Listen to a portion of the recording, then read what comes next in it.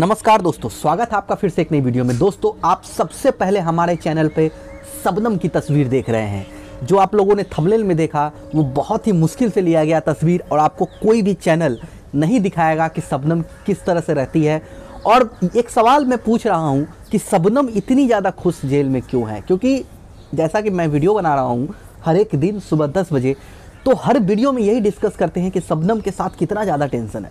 यानी सबनम के ज़िंदगी में, सबनम के लाइफ में इतना ज़्यादा टेंशन है कि लोग देख रहे हैं और लोग को लग रहा है कि क्या ये महिला जो कि मरने वाली है, भले ही कुछ दिन में ना हो, कुछ महीने में ना हो, कुछ साल में हो। मरने वाली है, लेकिन फिर भी जेल में इतना ज़्यादा खुश क्यों नज़र आती है? ये सब कुछ आपको इस वीडियो में आपको जानने को मिलेगा। उससे पहले आप अगर चैनल पर पहली बार आए हैं और आपको कंटेंट्स पसंद आ रहे हैं तो चैनल को सब्सक्राइब कर दे नोटिफिकेशन की घंटी बजा दे, और अभी तक जिन्होंने लाइक नहीं किया, वो लोग एक लाइक कर सकते हैं। आइए स्टार्ट करते हैं ये वीडियो। दोस्तों, जेल में बहुत सारे नियम होते हैं, बहुत सारे कानून होते हैं।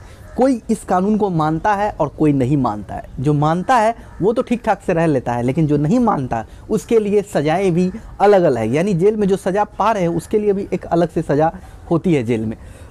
कुछ नियम नहीं मानना, उसके लिए एक सज़ा जो मानते हैं, उस, उसको तो कोई टेंशन नहीं होता। लेकिन जेल में भी एक अगर ठीक से रहना है, अगर अपनी, अपना काम निकालना है अपन कुछ भी करना है जेल में तो एक गैंग होता है जेल में। यानी कि अगर आप उस लीडर का बात नहीं मानोगे तो आप बड़ी टेंशन में पड़ सकते हो।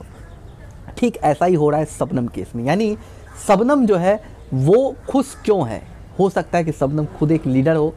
हो सकता है कि सबनम उस लीडर में चली गई हो, जहाँ पे उसको कोई टेंशन नहीं है। हमेशा खुश रहना, काम करना माफ़ करिएगा। हाँ हर तरह के काम करना, इस तरह से सबनम अपना पूरा टाइम जो है जेल में रह करके, खुश रह करके बिताती है। यानी उसे कोई भी टेंशन नहीं है। तो ये एक सबसे बड़ी सबसे बड़ा प्लस पॉइंट होता है जो जेल में रहते हैं कि अगर वो किसी लीडर में शामिल हो जाते, किसी गैंग में शामिल हो जाते तो फिर फिर उसे कोई परेशान नहीं करता। यानी कि कोई किसी भी तरह से कोई चिंता करने की बात नहीं है। तो इस तरह से सबनम अभी रह रही है। इसी वजह से सबनम इतना ज़्यादा नज़र खुश आ रही है।